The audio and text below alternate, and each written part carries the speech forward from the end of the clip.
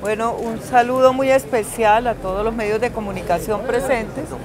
El primer mensaje que queremos dar como administración de Bogotá, en nombre del alcalde mayor de Bogotá, Gustavo Petro, es que estamos ante un hecho histórico.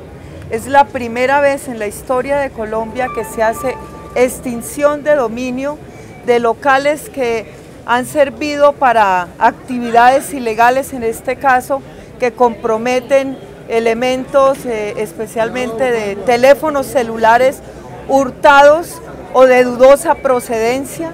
Hace ocho días se hizo el primer allanamiento. Esta es una acción combinada con la Fiscalía General de la Nación, la Policía Metropolitana y la Secretaría de Gobierno del Distrito y se estableció que varios de esos elementos, 6.500 celulares, tenían precisamente dudosa procedencia o de hurto o que pueden ser parte del tráfico de celulares que se ha considerado uno de los delitos transnacionales. El segundo gran mensaje es que al IPES se le van a entregar los locales que son objeto hoy de extinción de dominio.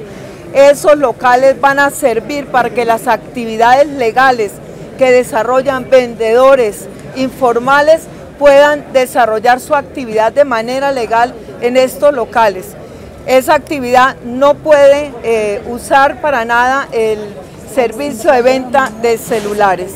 Y el tercer elemento que se ratifica hoy por parte de la Bogotá Humana es que para esta alcaldía lo fundamental es la vida y la integridad de los ciudadanos y ciudadanas de Bogotá se constituye esto en un referente, en un ejemplo para Colombia entera de cómo combatiremos la criminalidad y la ilegalidad y le daremos paso y abriremos los brazos de esta Bogotá humana a todas las actividades productivas legales que necesitan el respaldo y el apoyo del gobierno distrital.